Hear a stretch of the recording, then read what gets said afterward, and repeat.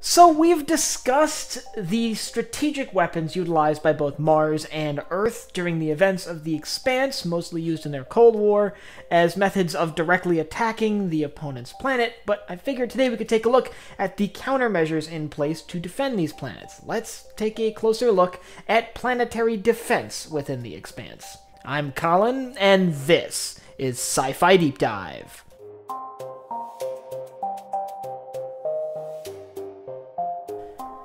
Remember, if you enjoyed this video, to head down below and hit that subscribe button. So, as we discussed previously, nuclear weapons played a very key role in the ongoing Cold War between the UN and the MCR. The rivalry between Earth and Mars that plays a pretty significant role in the first few seasons of The Expanse.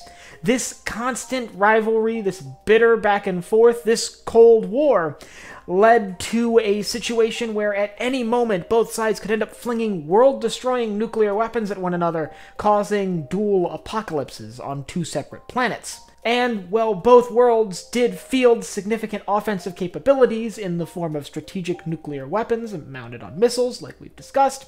They also fielded systems designed to defend their planets against such attacks, and today we're going to take a closer look at those systems deployed by both Earth and Mars. Now, before we go any further, I would like to note that we know a lot more about the planetary defense systems of Earth than we do about Mars, however, it's likely that they're both similar. I will be making some assumptions about the way Mars defends itself against incoming attack, but I assure you they will be educated assumptions, and I will make it clear when I'm drawing off of information that isn't concrete. So let's just jump right in and talk about Earth's defenses first.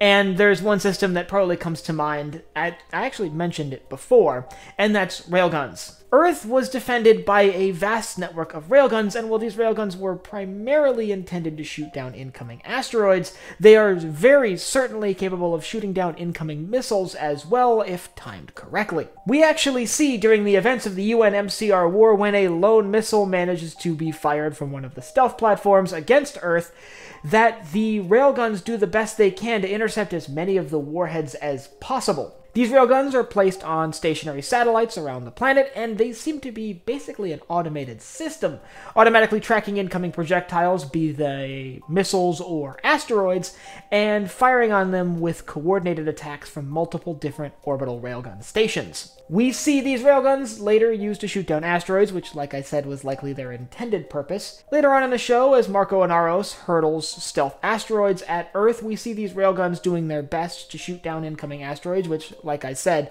is likely their intended purpose, and occasionally they do succeed against Marco's stealth asteroids. However, they are very reliant on radar systems that track incoming projectiles, like the asteroids or missiles I've been mentioning.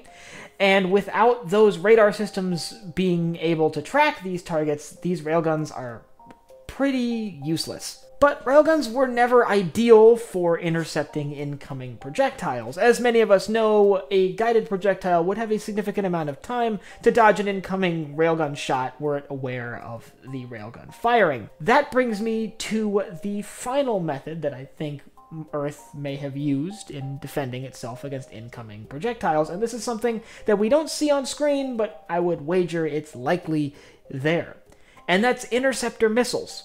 It's actually a system we have here in real life for defending countries against ballistic missile attacks. I could see missiles being launched from across the surface of Earth or from orbital stations in orbit of the planet, and being directed to intercept incoming missiles or asteroids. Now, it's likely that these missiles, since they would be guided and more expensive than railgun rounds, are likely more intended for engaging targets that have guidance systems of their own, more specifically ballistic missiles and strategic weapons deployed by Earth's adversaries, while the railguns are more intended for asteroids, which wouldn't dodge railgun rounds. But that's Earth's defenses. Let's talk a little bit about Mars. Now, before I get into Mars's defenses, I will say that almost all of this is speculative, so keep that in mind. I would wager that, like Earth, Mars does likely have orbital railgun platforms, however, there probably isn't quite as many. As we see with the Martian Navy compared to the UNN, Mars doesn't seem to rely as heavily on railguns as Earth does.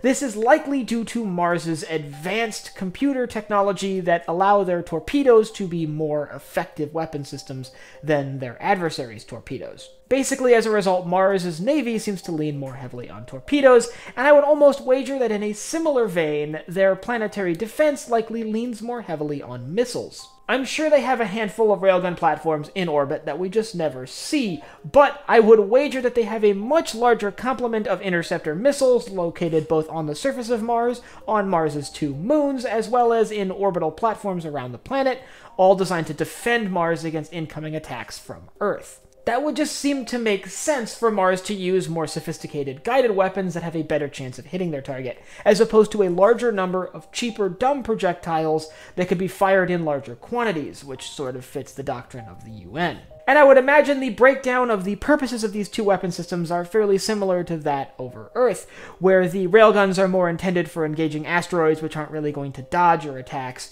while the missile systems are designed to sort of counter incoming ballistic weapons like missiles fired by Earth, which may be able to dodge railgun rounds fired at them.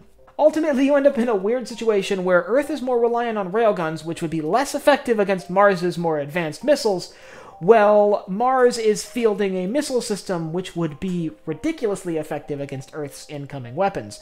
Still, in an engagement, I would imagine both sides would likely wipe each other out in a situation very similar to a nuclear war here on Earth. I would wager that the UN would ultimately end up having to fire more weapons against Mars than Mars having to fire against Earth. And those weapons play a pretty crucial role in the strategic standoff between the UN and the MCR. And if you'd like to learn about the strategic weapons within the Expanse, I'll leave a link up here to my video on that. And I'd like you to let me know down in the comments which one you think is more effective at intercepting incoming ballistic missiles. Do you think railguns are a better choice since they are basically instantaneous, and if you have a large network of them, they can fire a pretty withering array of shots? Or do you think missiles are the right way to go because they can hone onto and track targets even as they maneuver in attempts to avoid incoming uh, interdiction weapons? And if you have anything else you'd like to see me cover in The Expanse, leave that down below in the comments as well. Last but not least, if you enjoyed this video, head down below and hit the like button, the subscribe button, and the bell icon so you get notified when I upload new videos. So, for Sci-Fi Deep Dive, I'm Colin, and I will see you next time.